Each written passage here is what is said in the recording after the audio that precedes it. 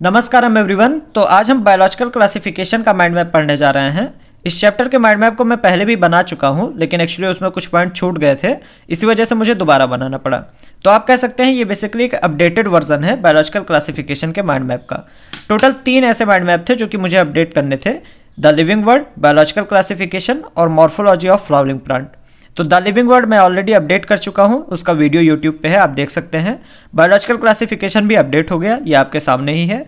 और morphology of flowering plant भी मैं जल्दी ही अपडेट कर दूँगा, ठीक है? इन तीनों के अलावा बाकी जितने भी चैप्टर्स हैं, उनके माइंड मैप एकदम परफेक्ट है, उनमें कोई दिक्कत नहीं, ठीक? तो इन्हीं तीनों को अपडेट करना था, जिसमें से दो ऑलरेडी हो चुके हैं, जो बचा हुआ है, वो भी मैं जल्दी ही कर दूँगा, ठीक है? तो शुरू करते हैं इस चैप्टर को पढ़ना। सबसे पहले हम सिस्टम ऑफ़ क्लासिफिकेशन से। तो जो पहला साइंटिफिक अटेम्प्ट था क्लासिफिकेशन का, वो एरिस्टोटल ने किया था। साइंटिफिक अटेम्प्ट मतलब होता है प्रयास। तो सबसे पहला साइंटिफिक प्रयास था जो, वो एरिस्टोटल के द्वारा किया गया। इन्होंने प्लांट्स को तीन कैटेगरी में और एनिमल्स को दो कैटेगरी में डिवाइड किया।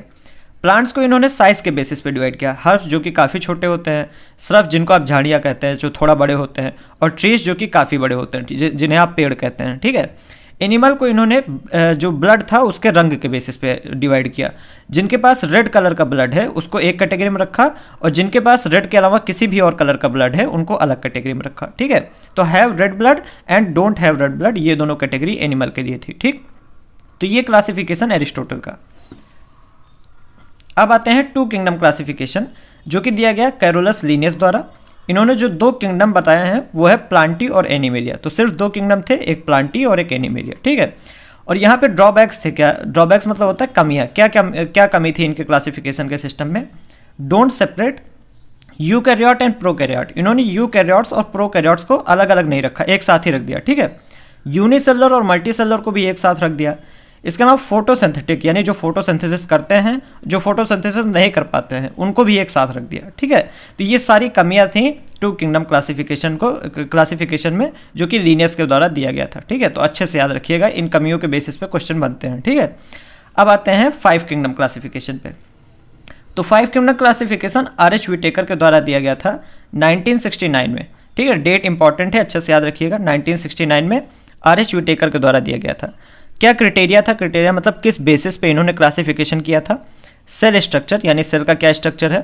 थैरस ऑर्गेनाइजेशन जिसको आप बॉडी ऑर्गेनाइजेशन भी कहते हैं, यानी कि टिश्यू लेवल का है सेल लेवल का ऑर्गेनाइजेशन है, इस टाइप से, ठीक है? न्यूट्रिशन मतलब खाना कैसे खाते हैं? रिप्रोडक्शन कैसे करते हैं? और फाइलोजेनिक रिलेशनशिप मतलब एवोल्यूशनरी जो रिलेशनशिप है ऑर्गनिस के बीच में, उसको भी इन्होंने कंसीडर किया था, ठीक है? तो ये पाँच क्राइटेरिया हैं जिनके बेसिस पे आर एच विटेकर ने पाँच किंगडम बनाए थे। पाँच किंगडम कौन कौन से हैं? मोनरा, प्रोटिस्टा, फंजाई, प्लांटी और एनिमेलिया, ठीक है? मोनरा, प्रोटिस्टा और फंजाई, ये तीनों किंगडम हम इसी चैप्टर में पढ़ेंगे, ठीक? किंगडम प्लांटी के लिए एक अलग चैप्टर है, जिसको आप प्लांट किंगडम कहते हैं, और किंगडम एनिमेलिया के लिए भी एक अलग चैप्टर है, जिसको आप एनिमल किंगडम कहते हैं, ठीक है? तो प्लांटी और एनिमेलिया जो है, उनको हम यहाँ पे नहीं पढ़ेंगे। हम यहाँ पे क्या पढ़ेंगे? मोनरा, प्रोटिस्टा और फंजाई, सिर्फ़ ये तीन, ठीक है? बाकी प्लांटी और एनिमेलिया के लिए अलग चैप्टर है तो उनमें हम उसके बारे में पढ़ेंगे, ठीक है? तो शुरू करते हैं पहला किंगडम पढ़ना, जिसको कहते हैं मोनेरा। जो मोनेरा है, इसमें सारे के सारे प्रोकैरियोट रखे गए थे। इसमें जो सोल मेंबर है सोल मेंबर मतलब मेन मेंबर जो है, वो है बैक्टीरिया ठीक है? बैक्टीरिया के बारे में आपको याद रखना है, इसकी मोस्ट एक्सटेंसिव मेटाबॉलिक डाइवर्सिटी होती है। एक्सटेंसिव मतलब कह लीजिए बड़ा या कह लीजिए फैला हुआ। तो सबसे ज़्यादा तरीके की मेटाबॉलिक डाइवर्सिटी यानी अलग अलग तरीके की रिएक्शंस अलग अलग तरीके का न्यूट्रिशन दिखाता है ये, ठीक है? दूसरी चीज़ सेप के बेसिस पे इसको चार तरीके का हम कह सकते हैं। कॉकस यानी जो कि स्फेरिकल सेप के होते हैं बैक्टीरिया उनको कॉकस कहा जाता है। बैसिलाई जो कि रॉड सेप के होते हैं। स्फेरिकल सेप मतलब जैसे फुटबॉल होता है, ठीक है? बैसिलाई मतलब जो रॉड सेप के होते हैं, रॉड के तरह के। स्पिडला मतलब जो स्पाइरल के सेप के होते हैं, ठीक? विब्रियो मतलब जो कॉमा के सेप के होते हैं, जैसा कॉमा होता है, ठीक है? तो ये चारों आपको याद होना चाहिए और किस सेप के होते हैं, ये आपको याद होना चाहिए, ठीक है? अब जो हेट्रोट्रॉफिक बैक्टीरिया होते हैं, ये सबसे ज़्यादा एबेंडेंट बैक्टीरिया है। यानी सबसे ज़्यादा तरह के जो बैक्टीरिया पाए जाते हैं, वो हेट्रोट्रॉफिक होते हैं। हेट्रोट्रॉफिक मतलब खुद का खाना नहीं बना सकते हैं, ठीक है? किसी और चीज़ पे डिपेंड होते हैं खाने के लिए। जैसे हम लोग भी हेट्रोट्रॉफिक हैं, हम प्लांट्स पर डिपेंड होते हैं, ठीक? तो हेट्रोट्रॉफिक बैक्टीरिया यानी जो खुद का खाना नहीं बना सकते, ये सबसे ज़्यादा एबेंडेंट है, सबसे ज़्यादा पाए जाने वाले हैं। ये इंपॉर्टेंट डिकम्पोजर होते हैं। डिकम्पोजिशन में काफ़ी ज़्यादा हेल्प करते हैं और ये काफ़ी ज़्यादा डिसीजेस भी कॉज करते हैं, जैसे क्लोरेला हो कॉलरा हो गया टाइफाइड हो गया टिटनेस हो गया सिट्रस कैंकर हो गया, ठीक है? इसमें से जो सिट्रस कैंकर है, ये प्लांट्स में होती है, ठीक? तो cholera typhoid tetanus citrus canker ये सारी डिसीजेस बैक्टीरिया से होती है, जो कि हेट्रोट्रॉफिक होते हैं, ठीक है? अब आते हैं क्लासिफिकेशन बैक्टीरिया का। तो बैक्टीरिया एनसीआरटी ने दो तरीके के बताए हैं यू बैक्टीरिया और आर्की बैक्टीरिया जो यू बैक्टीरिया होते हैं, इनको ट्रू बैक्टीरिया कहा जाता है, ठीक है? इसमें एक इंपॉर्टेंट एग्ज़ाम्पल है साइनो बैक्टीरिया जिसके बारे में कुछ चीज़ें आपको याद होनी चाहिए। इसको मैं इस तरीके से स्टार बना देता हूँ, ठीक है? तो साइनोबैक्टीरिया जो है, इसको ब्लू ग्रीन एल्गी भी आप कहते हैं। ये एक तरह का यू बैक्टीरिया है। क्या याद होना चाहिए इसके बारे में? इसकी जो कॉलोनीज होती हैं साइनोबैक्टीरिया की सराउंडेड बाय जिलेटिनस शीत एक तरीके की शीत होती है, एक तरीके की चादर होती है, जिसे हम जिलेटिनस चादर कहते हैं। इसी से सराउंडेड रहती है, ठीक है? तो इनकी जो कॉलोनीज होती हैं बेसिकली इनके ऊपर एक चादर रहती है कवरिंग होती है बेसिकली नॉस्टक और एनेबिना एक तरह के साइनोबैक्टीरिया हैं। इनके पास हेट्रोसिस्ट होता है। हेट्रोसिस्ट जो होती है, वो एक तरह की स्पेशल तरीके की सेल होती हैं और ये जो सेल होती हैं हेट्रोसिस्ट, ये नाइट्रोजन फिक्सेशन करती हैं, ठीक है? तो नॉस्टक और एनेबिना के पास जो सेल होती हैं, एक तरह की स्पेशल सेल हेट्रोसिस्ट, जो कि नाइट्रोजन फिक्सेशन में हेल्प करती हैं, ये आपको याद होना चाहिए, ठीक? काफ़ी बार क्वेश्चन आया हेट्रोसिस्ट पे, ठीक? फिर आते हैं आर्की बैक्टीरिया आर्की बैक्टीरिया जो होते हैं, can survive harsh habitat. Harsh मतलब बहुत ही कठिन जो हैबिटेट्स होते हैं, जहाँ पे बहुत ज़्यादा ठंडी है, बहुत ज़्यादा गर्मी है, उसको भी ये सर्वाइव कर सकते हैं, वहाँ भी ये ज़िंदा रह सकते हैं। क्यों? ड्यू टू डिफरेंट सेलवाल क्योंकि इनके जो सेलवाल होती है, बाकी बैक्टीरिया से अलग होती है, इनके पास स्पेशल सेलवाल होती है, और उसी सेलवाल की वजह से ये कहीं भी सर्वाइव कर लेते हैं, बेसिकली। सॉल्टी एरियाज़ में मतलब जो, जहाँ बहुत ज़्यादा नमक है, उस एरिया में जो सर्वाइव करते हैं, जो रहते हैं, उनको हम हेलोफाइल्स कहते हैं, ठीक है? जो हॉट स्प्रिंग में रहते हैं, उनको हम थर्मो एसिडोफाइल्स कहते हैं, और जो हॉट स्प्रिंग मतलब जो गर्म पानी के झरने होते हैं, ठीक? और जो मार्सी एरिया में रहते हैं, मार्सी एरिया मतलब जो दलदल वाला एरिया होता है जो कीचड़ वाला एरिया समझ लीजिए, वहाँ पे जो रहते हैं, उनको हम मिथेनोजन कहते हैं, ठीक? इसके अलावा मिथेनोजन जो है, ये मीथेन बनाते हैं, जिससे बायोगैस या गोबर गैस बनती है बेसिकली ठीक है? तो जो मिथेनोजन है, जैसे जो गाय भैंस होती हैं, इनके गोबर में भी मिथेजन मिथेनोजन पाए जाते हैं, ठीक है? और मिथेनोजन जो है मीथेन बनाते हैं, जिससे बायोगैस या कह लीजिए गोबर गैस हम बना सकते हैं, ठीक? तो ये आर्की बैक्टीरिया और यू बैक्टीरिया के बारे में सारी चीज़ें पता होनी चाहिए। तो ये हमारा पहला पेज था, अब आते हैं दूसरे पेज पे। तो ये है हमारा दूसरा पेज। और इसमें भी मोनरा से रिलेटेड एक और चीज़ पढ़नी है माइकोप्लाज्मा जो माइकोप्लाज्मा है, इसके ऊपर कोई सेल वॉल नहीं है, ठीक है? No cell wall smallest living cell है। यानी अभी तक जितनी भी लिविंग सेल हमने देखी है, उसमें से सबसे छोटी सेल जो है, वो माइकोप्लाज्मा की होती है। कैन सर्वाइव विदाउट ऑक्सीजन यानी बिना ऑक्सीजन के ये ज़िंदा रह सकते हैं सर्वाइव कर सकते हैं, ठीक है? ये तीनों पॉइंट नीट में पूछे गए हैं तो अच्छे से इनको याद रखिएगा, ठीक? तो ये हो गया माइक्रोप्लाज्मा और इसी के साथ मोनरा हमारा खत्म हो गया। तो हमें तीन किंगडम पढ़ने थे, एक खत्म हो गया मोनरा हमारा, अब हमें प्रोटेस्टा और फंजाई पढ़ना है, ठीक है? तो आते हैं आप प्रोटेस्टा पे। जो किंगडम प्रोटिस्टा है, इसमें ऑल यूनिसेलुलर यू कैरॉट्स रखे गए हैं। मतलब जितने भी एक सेल वाले यू कैरॉट्स हैं, वो सारे के सारे प्रोटिस्टा में रखे गए हैं। एनसीईआरटी लिखता है कि किंगडम प्रोटिस्टा जो है, इसकी boundaries are not well defined जो किंगडम प्रोटिस्टा है, इसकी बाउंड्रीज अच्छी तरीके से डिफाइंड नहीं है। मतलब अगर आप प्रोटिस्टा का कोई मेंबर देखेंगे तो हो सकता है आपको प्लांट के तरह के करेक्टर दिखें उसके अंदर। ऐसा क्यों है? क्योंकि इसकी जो प्रोटिस्टा है, इसकी बाउंड्रीज अच्छी तरीके से डिफाइन नहीं है। मतलब इस किंगडम को अच्छी तरीके से डिफाइन नहीं किया गया है, ठीक है? तो अगर आप मतलब अगर हम डिटेल लेक्चर पढ़ रहे होते तो मैं इसको अच्छी तरीके से समझाता। लेकिन अभी आपके पास इतना टाइम नहीं है तो आपको इसको याद रखना होगा, ठीक है? तो प्रोटिस्टा किंगडम की बाउंड्रीज अच्छी तरीके से डिफाइंड नहीं है, ठीक? इसमें टोटल पाँच क्लासेस हमें पढ़नी है chrysophyte dinoflagellate euglenoid slime moulds और प्रोटोजोन ठीक है? तो एक एक करके पढ़ते हैं। पहला है हमारे पास क्राइसोफाइट क्राइसोफाइट में दो ऑर्गेनिज्म है डेस्मिट्स और डायटम्स जो डेस्मिट्स होते हैं, इनको गोल्ड एनर्जी कहा जाता है। सिर्फ़ एक ही बात इनके बारे में याद ही रखनी थी, ठीक है? तो डेस्मिट के बारे में सिर्फ़ एक चीज़ याद रखना है कि इनको गोल्ड एनर्जी कहा जाता है। जो डायटम्स होते हैं, ये इंपॉर्टेंट है। इनको चीफ प्रोड्यूसर ऑफ़ ओशन कहा जाता है। यानी समुद्र का सबसे अच्छा प्रोड्यूसर कहा जाता है। प्रोड्यूसर मतलब कोई चीज़ प्रोड्यूस कर रहे होंगे। तो क्या प्रोड्यूस कर रहे हैं, अभी हम देखेंगे। अच्छा डाइटम्स की जो सेल वॉल होती है, ये एक सोप बॉक्स के तरह की होती है। जैसे साबुन का डिब्बा होता है, वैसे ही डाइटम्स की सेल वॉल होती है। और इनके सेल वॉल में सिलिका का डिपोजिशन होता है। अब जो सिलिका है ना, ये काफ़ी ज़्यादा रेजिस्टिव मटेरियल है। मतलब काफ़ी ज़्यादा दिनों तक ये रहता है, ठीक है? और इसी सिलिका की वजह से इनकी सलवार जो होती है इनडेस्ट्रिक्टेबल हो जाती है। मतलब डिस्ट्रॉय नहीं हो सकती। मतलब ख़त्म नहीं कर सकते हम इसको, ठीक है? तो सिलिका की वजह से जो डाइटम्स की सलवाल होती है, ये इतनी मज़बूत हो जाती है कि ये डिस्ट्रॉय नहीं हो सकती, ये ख़त्म नहीं हो सकती। अब इसी वजह से जो सिरका के जहाँ पे मतलब ये डाइटम्स रहते हैं, उस जगह पे जब डाइटम्स मर जाएँगे तो उनकी सेलवॉल जो है वैसे की वैसी पड़ी रहती है। और जब ये सेलवॉल इकट्ठा होती चली जाती है cell wall gets deposited over billions of year billions of years तक जब सेल वॉल इनकी इकट्ठा होती है तो उस जगह को हम डायटेमेसियस अर्थ कहते हैं, ठीक है? अब जो डायटेमेसियस अर्थ है, इसका नेचर ग्रिटी होता है। ग्रिटी मतलब खुरदुरा टाइप का नेचर होता है। इसका क्या क्या यूज़ है? पॉलिशिंग में यूज़ किया जाता है। फिल्ट्रेशन ऑफ़ ऑयल्स, ऑयल को फ़िल्टर में यूज़ किया जाता है, फ़िल्टर करने में, और सिरप्स में यूज़ किया जाता है, ठीक है? और इसी वजह से इनको प्रोड्यूसर कहा गया है। तो ये क्या प्रोड्यूस कर रहे हैं? डायटेमेसियस अर्थ प्रोड्यूस कर रहे हैं, ठीक है बेसिकली तो डायटम्स को बारे में अच्छे से ये सारे पॉइंट्स याद रखिएगा, काफ़ी इंपॉर्टेंट है, पूछा जाता है, ठीक? तो ये हो गया हमारा क्राइसोफाइट अब आते हैं डायनोफ्लेजलेट्स पे। Appear yellow green blue brown blue red due to pigments in them इनमें अलग अलग तरह के पिगमेंट पाए जाते हैं। इसी वजह से ये अलग अलग तरह के कलर के दिखते हैं, ठीक है? कोई येलो हो सकता है, कोई ग्रीन हो सकता है, कोई ब्राउन हो सकता है, ठीक? तो अलग अलग कलर के होते हैं ये, क्योंकि पिगमेंट्स इनमें अलग अलग तरीके के होते हैं, ठीक है? अब जैसे लिखा हुआ है डाइनो फ्लैजलेट डाई मतलब होता है दो फ्लैजलेट मतलब फ्लैजला तो इसी वजह से इनके ऊपर दो फ्लैजला देखने को मिलेगा आपको। दो फ्लैजला होंगे, एक लॉन्गिट्यूडनल होगा, यानी एक इनके बॉडी के अलोंग होगा, एक ट्रांसवर्स होगा, यानी साइड की ओर होगा एक। In a furrow between wall plates जो इनकी वॉल प्लेट्स हैं वॉल प्लेट्स मतलब सेल वॉल की जो प्लेट्स हैं, उनके बीच से निकला हुआ होगा, दूसरा वाला फ्लेजला ठीक है? तो दो फ्लेजला होंगे, एक लॉन्गिट्यूडनल होगा, दूसरा ट्रांसवर्स होगा in a furrow between furrow मतलब होता है खांच, ठीक है? तो जो वॉल प्लेट्स हैं बेसिकली जो सेल वॉल है, उनके बीच में खांच बनी होगी एक, उसी में से फ्लेजला निकला होगा, ठीक है? इस तरीके से। तो one transverse in a furrow between wall plates ठीक? प्लेट्स मैंने लिख दिया प्लेट्स होगा, ठीक है ये? पी एल ए टी ठीक? अच्छा अब रेड टाइट्स के बारे में पढ़ लेते हैं। Rapid multiplication of red dinoflagellates Gonyaulax example NCERT ने दिया है। तो गोनियोलॉक्स जो है, एक तरह का रेड डाइनोफ्लेजलेट्स है रेड कलर का। जब ये बहुत ही तेज़ी से मल्टीप्लाई करता है, बहुत ही ज़्यादा तेज़ी से डिवाइड करता है तो रेड कलर की टाइड हमें ओशन में देखने को मिलती है। रेड कलर की लहरें देखने को मिलती हैं, ठीक है? होता क्यों है? रैपिड मल्टीप्लीकेशन की वजह से। अच्छा जब ये मल्टीप्लाई करते हैं तो ये कुछ ना कुछ टॉक्सिन रिलीज़ करते हैं। कुछ ना कुछ टॉक्सिन मतलब होता है जहरीला सब्सटेंस रिलीज़ करते हैं और ये टॉक्सिन जो होता है, ये आसपास की जो फिशेज हैं, उनको किल कर सकता है, मार सकता है, ठीक है? तो गोनियोलक्स जो है, जब मल्टीप्लाई करेगा टॉक्सिन रिलीज़ होगा टॉक्सिन से जो आसपास की फिशेज हैं, वो मर सकती हैं, ठीक? तो ये होगा डायनोफ्लेजर्स के बारे में। रेड टाइट्स इंपॉर्टेंट है और फ्लेजला इंपॉर्टेंट है। ये दोनों काफ़ी पूछे जाते हैं, ठीक है? अब आते हैं यूग्रेनॉइड पे। Have pellicle instead of cell wall जो यूगलेनाइट्स होते हैं, इनमें पेलिकल नाम की प्रोटीन की लेयर पाई जाती है सेल वॉल के बजाय, ठीक है? तो सेल वॉल नहीं होती बेसिकली सेल वॉल के जगह पे पेलिकल नाम की प्रोटीन रिच लेयर होती है, ठीक है?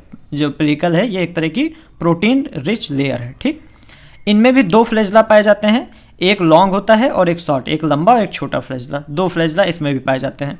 जो पिगमेंट्स होते हैं identical to higher plant euglenoids में जो पिगमेंट्स होते हैं ये हायर प्लांट्स के तरह के होते हैं। जैसे हायर प्लांट मतलब जो एनजियोस्पर्म होते हैं जो जिम्नोस्पर्म होते हैं उनके पिगमेंट्स की तरह इनमें भी पिगमेंट पाए जाते हैं ठीक है?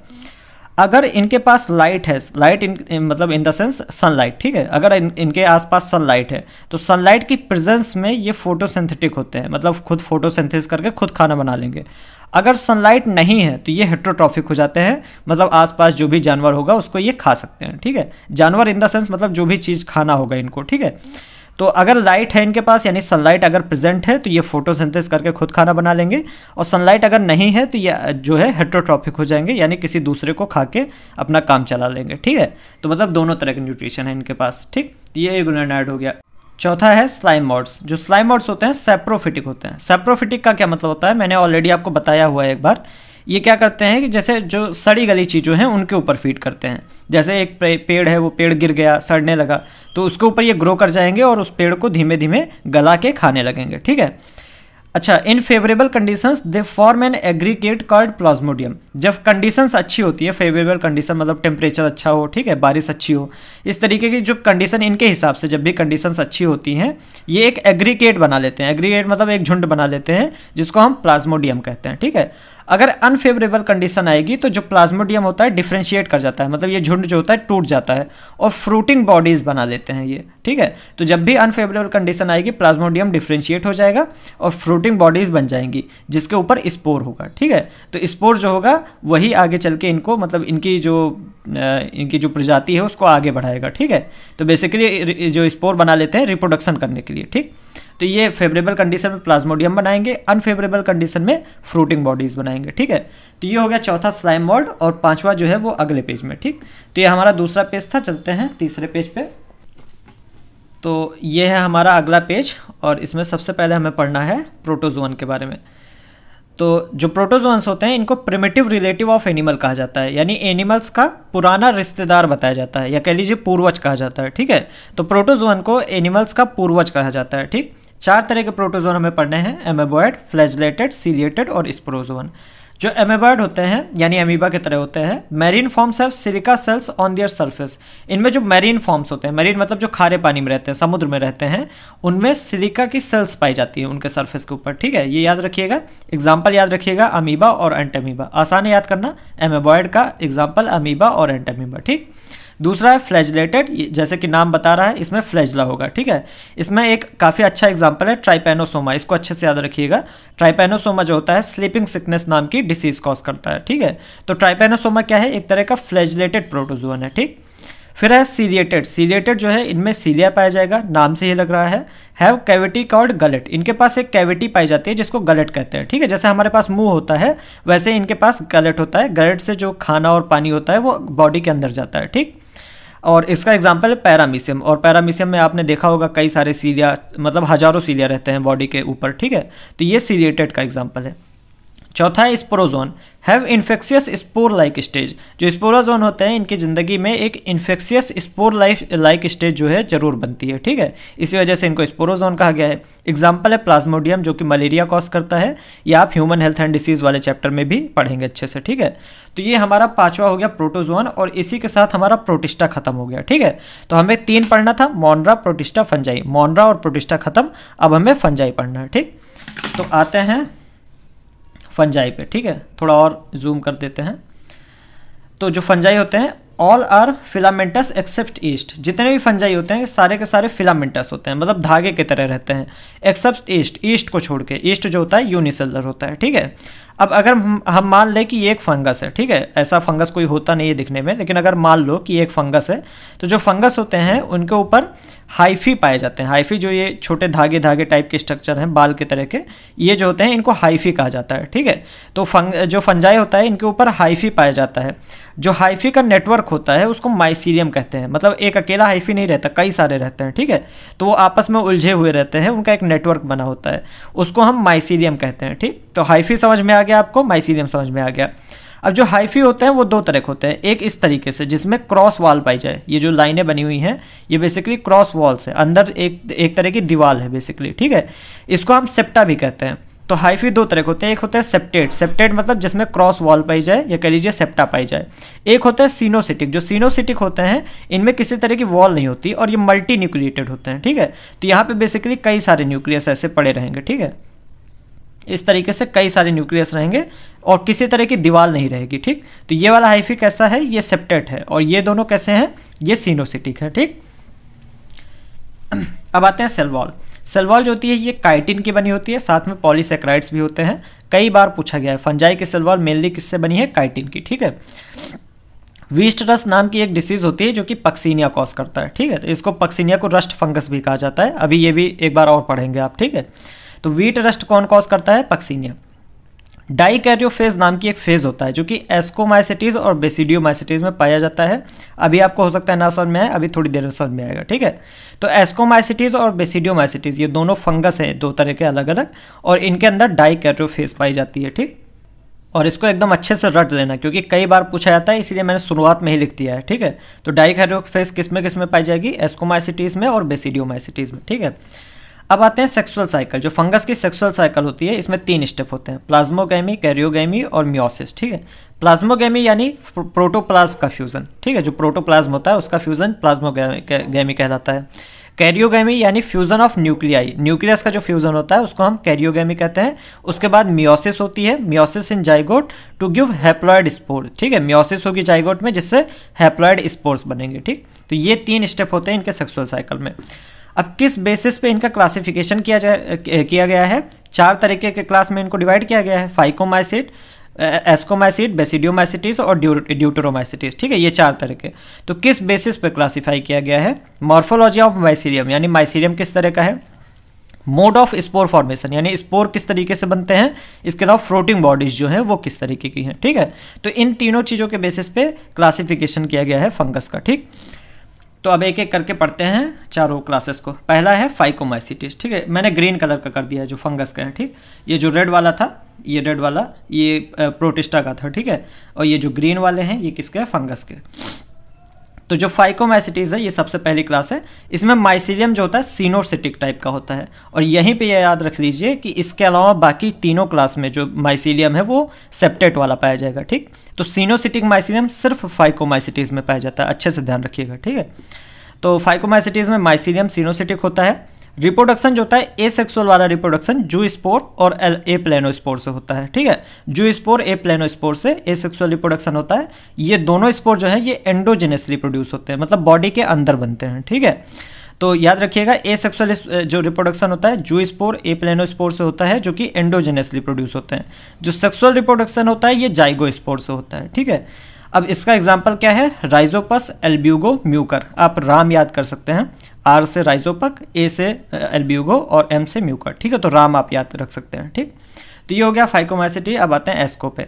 तो एस्कोमाइसिटीज को सैक फंजाई कहते हैं। अच्छा जो फाइकोमाइसिटीज होता है, इसको एल्गल फंजाई कहा जाता है। लेकिन एनसीआरटी में क्योंकि दिया नहीं है तो मैंने लिखा नहीं है। ठीक है? एनसीआरटी में नहीं दिया है। अगर आप याद रखना चाहें तो याद रख लीजिए। फाइकोमाइसिटीज को एल्गल फंजाई कहते हैं कभी कभी ठीक है? एस्कोमाइसिटीज को सैक फंजाई कहा जाता है कॉमन नेम है। रिप्रोडक्शन इसमें कैसा होता है? सेक्सुअल रिप्रोडक्शन कोनिडिया के थ्रू होता है। कोनिडिया भी एक स्पोर है, जो कि एक्जोजेनसली बनता है, ठीक है? बाहर बनता है बॉडी के। सेक्सुअल जो स्पोर है, वो है ascospore produce endogenously on asci asci जो होते हैं, वो छोटे छोटे बैग तरह के स्ट्रक्चर होते हैं, थैले के तरह के स्ट्रक्चर होते हैं, ठीक है? तो जो एस्काई होते हैं, ये बेसिकली सैक लाइक स्ट्रक्चर होते हैं, थैले के तरह के स्ट्रक्चर होते हैं, जिसपे एंडोजेनेसली एस्को स्पोर बनते हैं, ठीक है? तो याद रखिएगा एस्को स्पोर कहाँ बनते हैं? एस्काई पे, ठीक? अब इसका एग्ज़ाम्पल भी इंपॉर्टेंट है एस्परजिलस क्लेविसेप्स न्यूरोस्पोरा ये न्यूरोस्पोरा है यूज़ इन जेनेटिक्स वर्क्स ये जेनेटिक्स वर्क्स में बहुत ज़्यादा यूज़ किया जाता है और ये कई बार आपसे क्वेश्चन पूछा गया है। याद रखिएगा अच्छे से। ठीक है, चार एग्जांपल आपको दे देंगे, बोलेंगे कौन सा जेनेटिक्स वर्क जेनेटिक के वर्क में काफ़ी यूज़ किया जाता है। ठीक है तो न्यूरोस्पोरा तो Aspergillus Claviceps Neurospora yeast Penicillium ठीक है, ये एग्ज़ाम्पल तो अलग है। इसके अलावा एडिबल जो है मॉरल और ट्रफल तो मॉरल और ट्रफल ये दोनों एस्कोमाइसिटीज़ है जो कि एडिबल है, यानी खाने योग्य है। ठीक है तो ये हो गया हमारा तीसरा पेज, और जिसमें हमने दो क्लासेस पढ़ ली। फाइकोमाइसिटीज एस्कोमाइसिटीज अब बाकी की दो क्लास जो है मतलब बेसिडियो और ड्यूटरो वो हम अगले पेज पर पढ़ते हैं, ठीक है? तो ये है हमारा आखिरी पेज जिसमें हमें बेसिडियोमाइसिटीज पढ़ना है ड्यूट्रोमाइसिटीज इसके अलावा दो तीन टॉपिक्स और हैं, और उसके बाद हमारा चैप्टर कंप्लीट हो जाएगा, ठीक है? जो बेसिडियोमाइसिटीज होते हैं, इनको कॉमनली ब्रैकेट फंजाई या पफ बॉल कहा जाता है। रिप्रोडक्शन की बात करें तो asexual spore are generally not found ठीक है एनसीआरटी लिखता है बेसिडियोमाइसिटीज में जनरली ए सेक्सुअल स्पोर जो होते हैं वो पाए ही नहीं जाते हैं। सेक्सुअल रिप्रोडक्शन बेसिडियो स्पोर से होता है, जो कि एक्सोजेनसली बनाए जाते हैं बेसिडियो कार्पे ठीक है? बेसिडियो कार्प एक तरह की फ्लोटिंग बॉडी होती है, ठीक है? तो बेसिडियो कार्पे बेसिडियो स्पोर बनते हैं, जिससे सेक्सुअल रिप्रोडक्शन होता है। एग्ज़ाम्पल है पक्सीनिया एस्टिलागो और अगेरिकस आप पुआ याद रख सकते हैं, ठीक है? पी यू ए पुआ, ठीक है? जो पक्सीनिया होता है, इसको रस्ट फंगस कहते हैं। अभी अभी मैंने बताया था आपको कि वीट रस्ट जो होता है, वो पक्सीनिया से होता है। इसी वजह से इसको रस्ट फंगस कहा गया है। एस्टिलागो को स्मट फंगस कहते हैं और अगेरिकस जो होता है, इसको कॉमनली मशरूम कहा जाता है, ठीक? तो ये बेसिडियोबासिटीज हो गया। अब आते हैं ड्यूटोरो पे ड्यूट्रोमाइसिटीज होता है, इसको इम्परफेक्ट फंजाई कहते हैं। क्यों? क्योंकि जो सेक्सुअल रिप्रोडक्शन होता है, ये नॉट नोन है। ठीक है? हमें पता नहीं रहता इसके सेक्सुअल रिप्रोडक्शन के बारे में, ठीक है? और अगर किसी ऑर्गेनिज्म का सेक्सुअल रिप्रोडक्शन जब पता चलता है, जो कि ड्यूट्रोमाइसिटीज में है अभी, तब इसको निकाल के ड्यूट्रोमाइसिटीज से किसी और क्लास में डाल दिया जाता है। जैसे एस्को में डाल दिया जाएगा या बेसिडियो में डाल दिया जाएगा, ठीक है? तो इसी वजह से इसको इम्परफेक्ट फंजाई कहा जाता है, क्योंकि सेक्सुअल जो स्टेज होती है, वो हमें नहीं पता रहती। ए सेक्सुअल रिप्रोडक्शन कोनीडिया से होता है, ठीक है? एग्ज़ाम्पल में है अल्टरनेरिया कोलेटोट्राइकम और ट्राइकोडर्मा कैट याद रख सकते हैं आप C A T Colletotrichum Alternaria और ट्राइकोडर्मा ठीक? तो ये हमारा फंजाई यहाँ पे कंप्लीट हो गया। यानी तीनों किंगडम हमने पढ़ लिए। अब हम कुछ पढ़ेंगे अलग तरह के ऑर्गनिज्म जिसको एसेलुलर ऑर्गनिज्म भी कहा जाता है वायरस वायरॉइड लाइकन ये सारे, ठीक है? जो वायरस होता है, इसकी डिस्कवरी इवानोस्की ने की थी 1892 में। डेट इंपॉर्टेंट है, याद रखिएगा। और किसने की थी, ये भी, ठीक है? टोबैको मोजैक वायरस के बारे में दो तीन चीज़ें आपको पता होनी चाहिए, जिसको टीएमवी कहा जाता है शॉर्ट फॉर्म में। देखिए, वायरस में दो चीज़ें होती है, एक जेनेटिक मटेरियल और एक प्रोटीन ठीक है? तो जो टीएमवी है, इसमें जेनेटिक मटेरियल क्या है? आरएनए और प्रोटीन कोड जो होती है, इसका नाम है कैप्सिड ठीक है? कैप्सिड इसकी प्रोटीन कोड है। कैप्सिड जो है छोटी छोटी यूनिट से बनी हुई है, जिसे कैप्सोमेयर कहते हैं, ठीक है? अब एक साइंटिस्ट है एम डब्ल्यू बेजरनिक जो बेजरनिक थे, इन्होंने वायरस को कॉन्टेजियम वाइवम फ्लूडम कहा। इसका मतलब क्या होता है? कॉन्टेजियम मतलब होता है इन्फेक्सियस इन्फेक्सियस लिविंग फ्लूड इसका मतलब होता है, ठीक है? तो वायरस को कॉन्टेजियम वाइवम फ्लूडम किसने कहा था? एम डब्ल्यू बिजनिक ने। स्टैनली नाम के एक साइंटिस्ट है जिन्होंने क्रिस्टलाइज किया था वायरस का, ठीक है? वायरस के छोटे छोटे क्रिस्टल बनाए थे, ठीक? क्रिस्टलाइज किया था। No virus contents both R N and DNA कोई भी ऐसा वायरस नहीं है जिनका जेनेटिक मटेरियल में दोनों आरएनए और डीएनए दोनों पाए जाते हो। ठीक है? जैसे आपने टोबैको मोजैक वायरस देखा, इसमें सिर्फ़ आरएनए पाया जाता है। ठीक है? तो कोई भी ऐसा वायरस नहीं है जिसमें दोनों आरएनए डीएनए दोनों पाए जाते हो। ठीक है? अब जो प्लांट वायरस होते हैं मतलब ऐसे वायरस जो कि प्लांट को इन्फेक्ट करते हैं, उसमें जनरली सिंगल स्टैंडर्ड आरएनए पाया जाता है। और ये जनरली बात हो रही है। ऐसा कंफर्म नहीं है, हमेशा होगा। ठीक है? जनरली जो वायरस प्लांट को इन्फेक्ट करते हैं, उनमें सिंगल स्टैंडर्ड आरएनए पाया जाता है। जो वायरस एनिमल को इन्फेक्ट करते हैं, उनमें सिंगल स्टैंडर्ड आरएनए या डबल स्टैंडर्ड आरएनए या डबल स्टैंडर्ड डीएनए पाया जाएगा, ठीक है? तीनों में से कोई एक ही पाया जाएगा ऑब्वियसली दोनों चीज़ें तो पाई नहीं जा सकती। बैक्टीरियल वायरस यानी जो बैक्टीरिया को इन्फेक्ट करते हैं, उनको बैक्टीरियोफेज कहा जाता है। जो बैक्टीरियोफेज होते हैं, इनमें डबल स्टैंडर्ड डीएनए होता है, ठीक है? और ये भी क्वेश्चन नीट में आ चुका है, ठीक? तो वायरस अच्छे से याद रखिएगा वायरस से काफ़ी क्वेश्चन बनते हैं। अब आते हैं वायरस पे।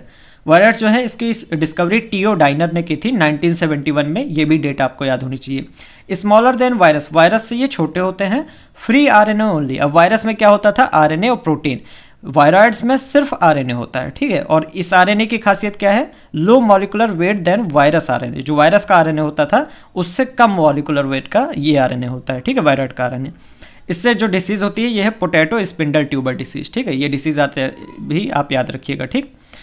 अब आते हैं प्रियॉन्स पे। प्रियॉन्स जो होते हैं, इसमें सिर्फ़ प्रोटीन होता है। एबनॉर्मली फोल्डेड प्रोटीन एबनॉर्मली मतलब अलग तरीके से, अजीब तरीके से फोल्डेड प्रोटीन होता है। ठीक है, सिर्फ़ प्रोटीन होता है। साइज़ जो होता है वायरस के आसपास का रहता है सिमिलर वायरस के। ठीक है? जो डिसीज़ होती है, इसमें दो डिसीज़ है बीएससी और सी आर जेकअप डिसीज़ जो बीएससी है, इसको बोवाइन स्पॉन्जी फॉर्म इंसेफेलोपैथी कहते हैं और इसी जो बीएससी है, इसी को हम मैड काउ डिसीज़ कहते हैं, ठीक है? Common name mad cow disease है, ठीक? ये बीएससी का फुल फॉर्म याद रखिएगा बोवाइन स्पॉन्जी फॉर इंसिफेलोपैथी ठीक है? सी आर जेकब डिसीज जिसको सी जे डी भी कहा जाता है, ये ह्यूमन में होती है, ठीक है? ये भी बी एस सी के तरह की होती है, बस ये जो बी एस सी वाली है, ये मैड काउ डिसीज कहते हैं, क्योंकि ये कैटल में होती है, जैसे गाय, भैंस, बकरी, इन सब में। जो सी आर जेकब डिसीज है, ये ह्यूमन में देखने को मिलता है, ठीक है? तो ये प्रियॉन्स हो गए, जो कि सिर्फ़ प्रोटीन के बने होते हैं। आखिरी टॉपिक इस चैप्टर का है लाइकन लाइकन एक सिम्बायोटिक एसोसिएशन होता है। सिम्बायोटिक मतलब जिसमें दोनों का फ़ायदा हो, ठीक है? दो दो ऑर्गेनिज्म होते हैं यहाँ पे एल्गी और फंजाई इन दोनों का फ़ायदा होता है कैसे? एल्गी जो होता है, ये फ़ूड बनाता है, बदले में फंजाई जो होता है एल्गी को सेल्टर देता है, साथ ही साथ वाटर और मिनरल को एब्जॉर्ब करके देता है, ठीक है? जो एल्गी वाला पार्ट होता है लाइकन में, उसको हम फाइकोबायंट कहते हैं। यहाँ पे टी लिखना मैं भूल गया हूँ, ठीक है? तो एल्गी वाले पार्ट को फाइकोबायंट कहते हैं, जो फंजाई वाला पार्ट होता है, इसको माइकोबायंट कहा जाता है, ठीक है? अच्छे से ध्यान रखिएगा एल्गी को फाइकोबायंट फंजाई को माइकोबायंट ठीक? लाइकन जो होते हैं गुड पॉल्यूशन इंडिकेटर होते हैं। पॉल्यूशन अच्छी तरीके से दिखाते हैं, क्योंकि जहाँ पॉल्यूटेड एरिया होता है, यहाँ पर वहाँ पे ये ग्रो नहीं करते हैं, ठीक है? तो काफ़ी अच्छा पॉल्यूशन इंडिकेटर होते हैं ये, ठीक? ये हमारा आखिरी टॉपिक था और इसी के साथ हमारा माइंड मैप कंप्लीट हो गया, ठीक है? तो ये हमारा चौथा पेज था। ये तीसरा पेज था। ये था दूसरा पेज और ये पहला पेज, ठीक है? तो माइंड मैप हमारा कंप्लीट हो गया। अब सिर्फ़ एक चैप्टर का माइंड मैप बना, बचा हुआ है, जो कि मैं अपडेट करूँगा जल्दी ही मॉर्फोलॉजी ऑफ़ फ्लावरिंग प्लांट का, ठीक है? बाकी सारे अपडेट हो चुके हैं और आपके सामने हैं। पीडीएफ इसका आपको डिस्क्रिप्शन में मिल जाएगा। आप उसके लिंक क्लिक करके आप आसानी से उसको डाउनलोड कर सकते हैं, ठीक है? तो ठीक है वीडियो अच्छा लगा होगा तो लाइक कर दीजिएगा और शेयर कर दीजिएगा, ठीक है? चैनल को सब्सक्राइब कर दीजिएगा, ठीक? तो सपोर्ट मिल जाएगा थोड़ा अच्छा रहेगा ठीक है? ठीक है बाय